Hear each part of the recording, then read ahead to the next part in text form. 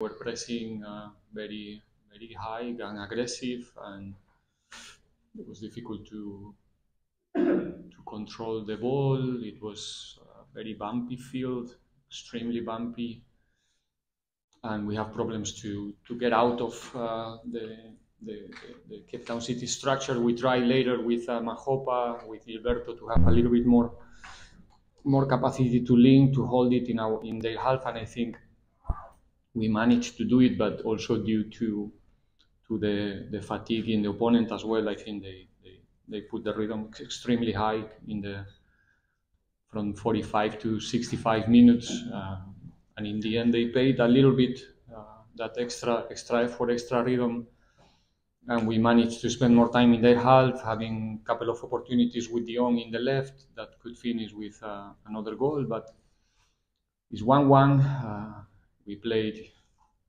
just now uh, the second leg on Saturday in, in Joburg, and I think it's coming a very exciting game, and that's that's a good news. Thank you, coach. We'll take some questions. Sandile. Okay. Just, coach, you think the uh, the postponement of the game on yesterday it have anything to do with maybe the shortcomings of the game today? What do you mean shortcomings? Sorry. Anything that you may not have been happy about? Related with the Yeah.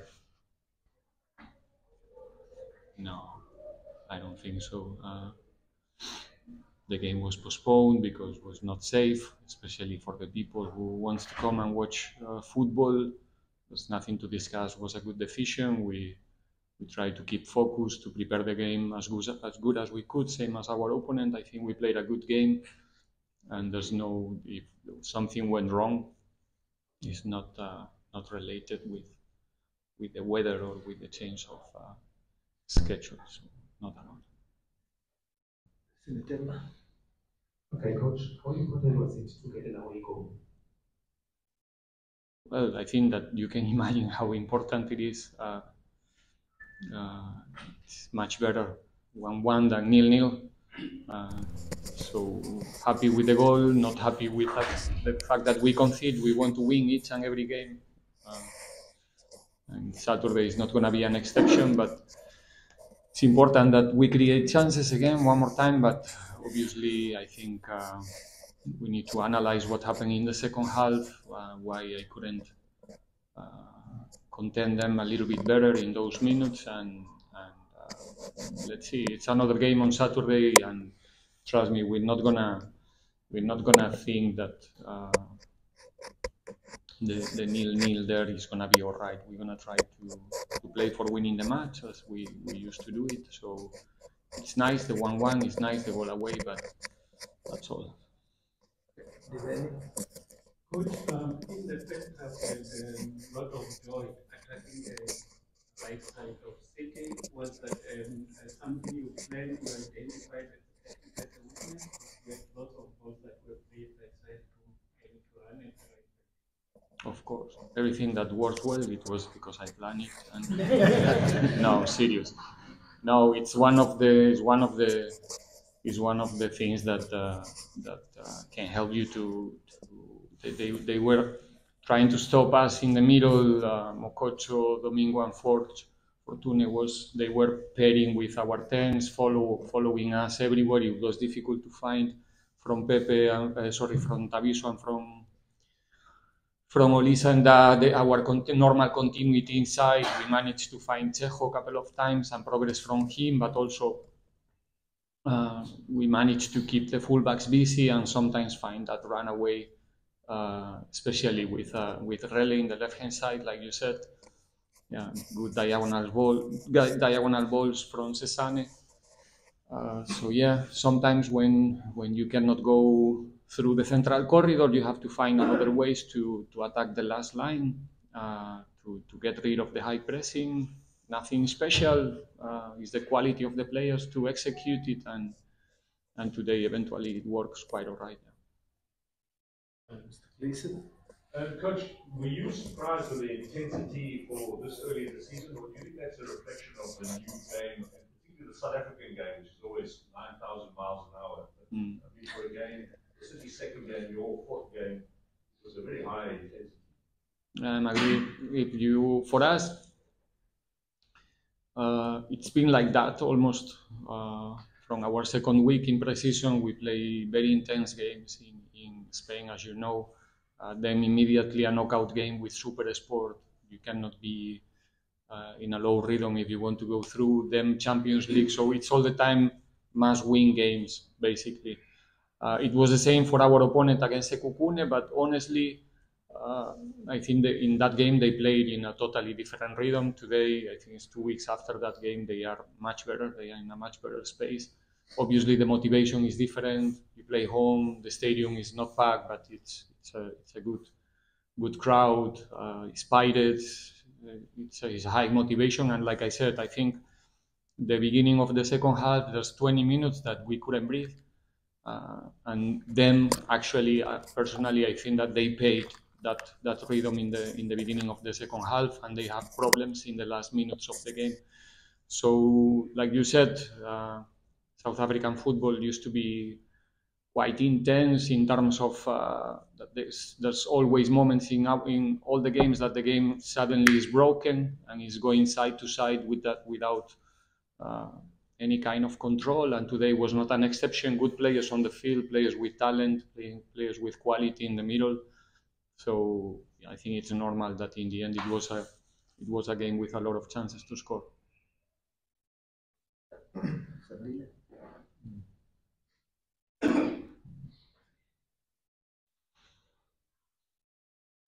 Coach, just from way you sit, what would you say are some of the, the key steps of progression that you see from your team, um, having been in this position and in this competition the past successful? So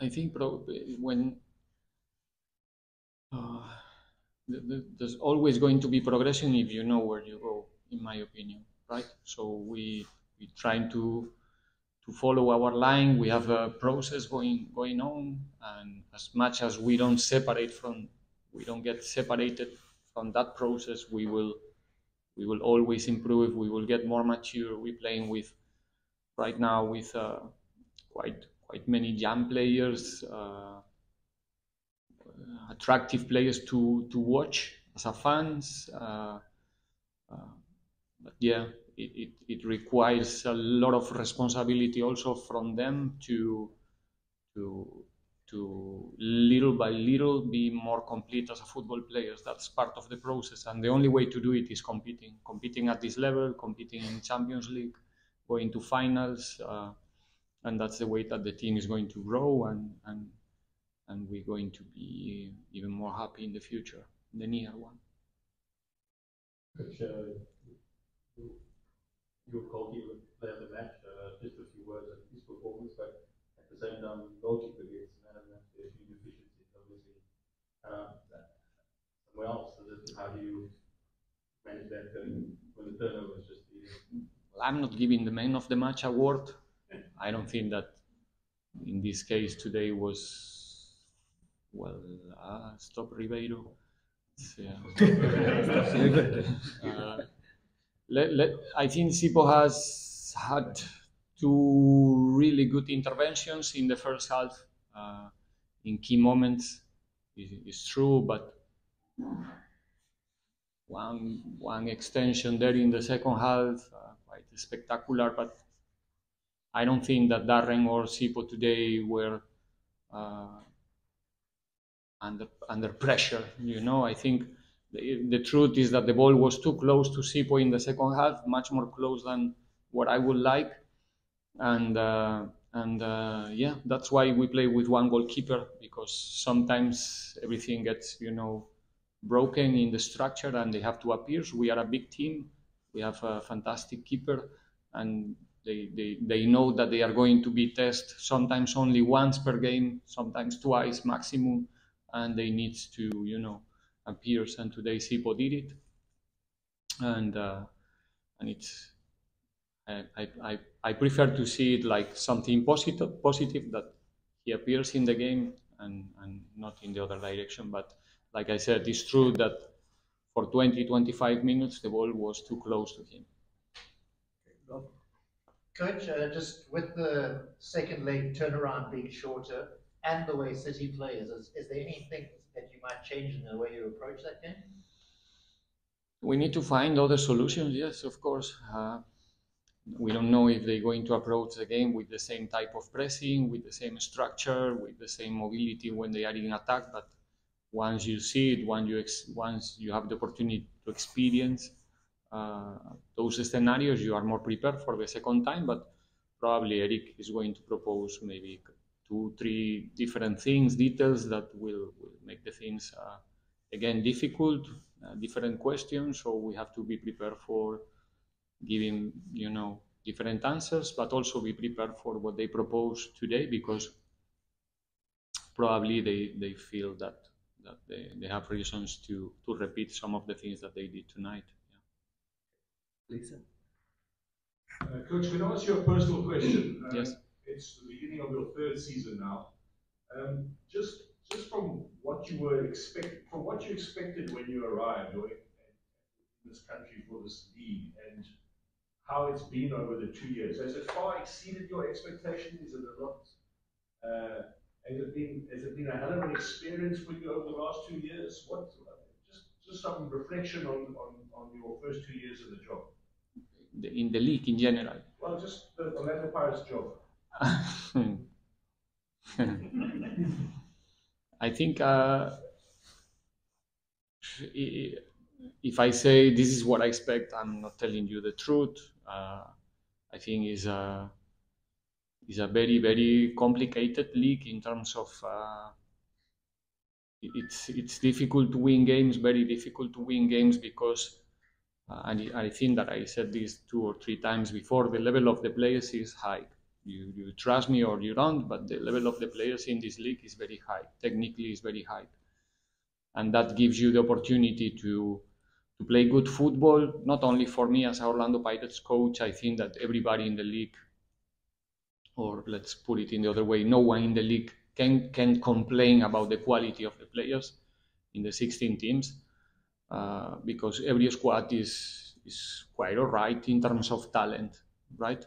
Uh, and that's what it makes the league complicated because there's a lot of players in every game that can create imbalance, can eliminate one or two players suddenly and compromise your structure.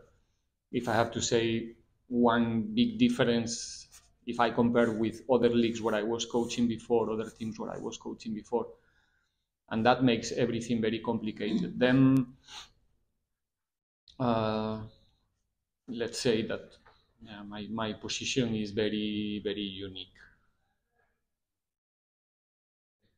The last one, Tashrik.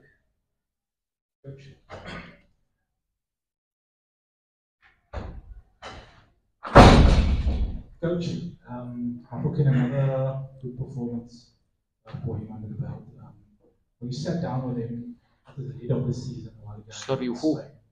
Mofokeng. Ah, Mofokeng, sorry. Um, when you sat down with him, you and your coaching staff uh, ahead of the season. Was there sort of targets for him to reach the more certain potential that you'd like to see him at? Because um, to just continue what he has done last season. No, really, like like everybody else, and especially our offensive players, our forwards, uh, we, we, we try to play with their strengths. First of all, we try to create spaces and scenarios where Rele can be Rele, where, where Rele can express himself as a football player and show the talent that he has. And then, like I said before, talking about the collective, uh, the, the process, the, the, possibility to play uh, very competitive games in the club where we are uh, is giving Rele and other players the possibility to get more mature, to be more complete, to fulfill the spaces where maybe he's not top, because you cannot be top in every in every department, but it's you can work to to get close to that. Um, so when you go to the field, you try to show who you are, and in the positive and the negative, you don't want to be seen, you know, your deficits as well, right? So we try to help each and every individual in the team. Really, is not an exception. And uh, I think that you, you all, the same that I do, we all have the capacity to, to, to see how much he improved in the last, in the last year in every phase. It's not only a player who with capacity to threat, with capacity to eliminate, with capacity to create chaos. He's also a player who is helping us a lot in the defensive phase, who is improving his capacity to win duels as well, and and that's telling quite a lot about his commitment. Okay, thank you very much, coach. Thank you.